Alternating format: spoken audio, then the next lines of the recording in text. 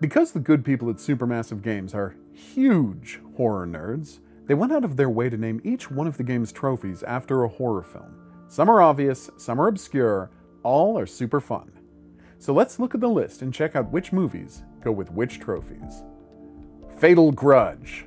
This refers to The Grudge, a Japanese horror film that spawned a franchise and an American remake.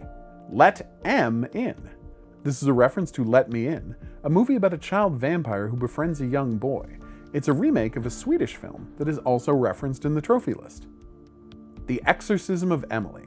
This one is fun because not only is the title a good description of what's going on in the scene, them trying to stop an evil spirit that might have been possessing Emily, but the plot of the film, The Exorcism of Emily Rose, is that a woman is killed by people who think she was possessed. And that matches the scene in the game surprisingly well. You let the wrong one in. This film, Let the Right One In, is the film that was remade as Let Me In. Ashley Snaps. Ginger Snaps was a Canadian werewolf movie about teenaged girls. It had two sequels, one of which was a remake of the first film set in frontier times. Don't Scare Jessica to Death. This is inspired by Let's Scare Jessica to Death, a deeply strange 1971 horror movie. Instant Inferno.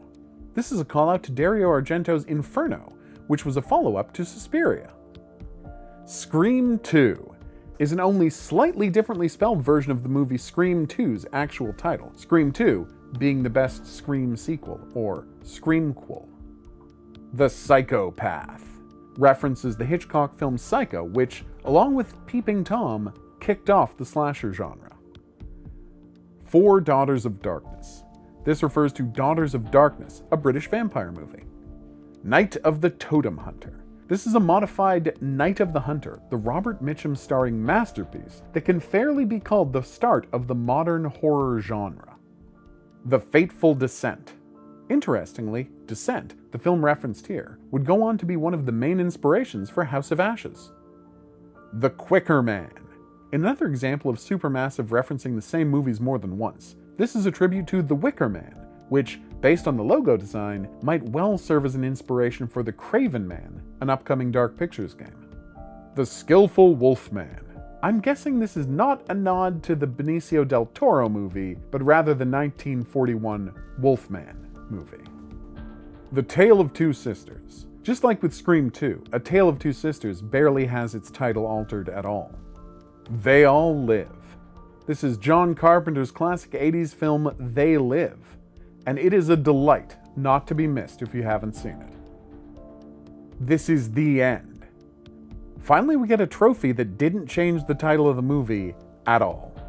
You opened their eyes. This references Open Your Eyes, the Spanish film that inspired the Tom Cruise movie Vanilla Sky. A Symphony of Horror trophies.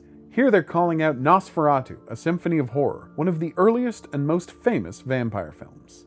If there's one thing that this list demonstrates, it's that Supermassive Games has excellent taste in horror movies. Are you looking for more Supermassive Games content?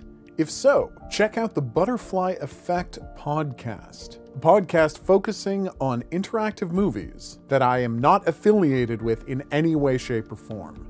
In the run up to the Quarry's release, they're doing a mini series where they replay Until Dawn, where they talk about it one chapter at a time. Find a link to the podcast in the description below the video. I've been the Hidden Object Guru. Thanks for watching. If you haven't already, please remember to like and subscribe. Special thanks go out to my patrons Desire, Marissa, Eduardo, Brian, and Joanne. You can always find me at my live streams, weeknights at 9 Eastern and weekends at noon. We'll see you back here for more Supermassive Games content. But until then, au revoir.